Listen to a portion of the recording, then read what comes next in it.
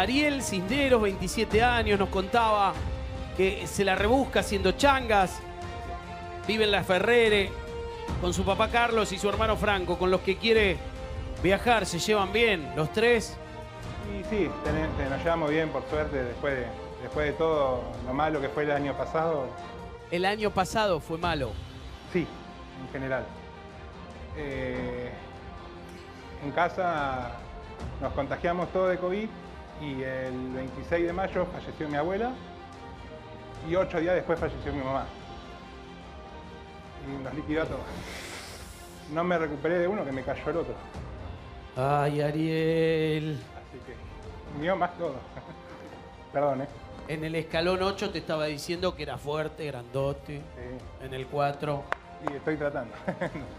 no sé cómo sigo en pie, como me dicen todo, pero trato de seguir. Lo confirmás en este, que sos grandote, fuerte. Sí, será bueno. Ariel, entonces. Y está también Verónica. Bueno, así es el juego. Alguien tiene que subir, salvo que alguno baje. Eso nunca nadie lo hizo. Verónica, el millón sería para, para viajar a Cancún, quiere. Y, y Ariel, que le gusta leer sobre biografías, historia de guerra. Ah, le gusta practicar lucha libre también. Me gusta ver, no me animo a practicar. Ah, ¿no practicás? No, no, me gusta Ah, dice ver. le gustaría, eso Claro, pusiste, que te gustaría. gustaría. Eh. Bueno, María Sol.